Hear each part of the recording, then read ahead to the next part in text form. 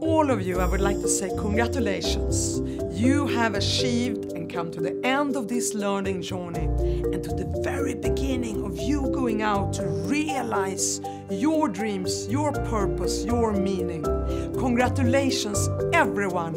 I look forward to meeting you in person one day. I look forward to seeing you gently shaking the world and making it a better place.